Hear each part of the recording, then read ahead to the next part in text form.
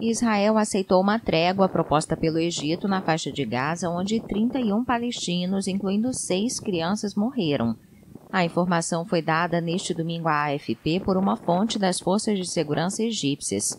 Uma fonte palestina confirmou que negociações sobre o tema estão em curso. Foram três dias de confrontos violentos entre a Jihad Islâmica e Israel. Os ataques que começaram na sexta-feira são os mais violentos entre Israel e as organizações armadas de Gaza desde a guerra de 11 dias de maio de 2021. O conflito terminou com as mortes de 260 pessoas do lado palestino e 14 em Israel. A nova escalada de violência deixou o pequeno território e seus 2 milhões e 300 mil habitantes sem a sua única central de energia elétrica que teve que interromper as atividades por falta de combustível, provocada pelo bloqueio das entradas do enclave por Israel desde terça-feira.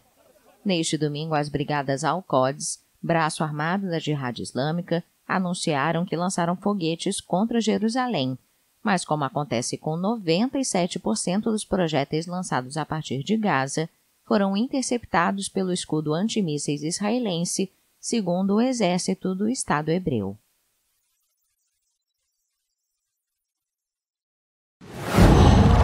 Qual?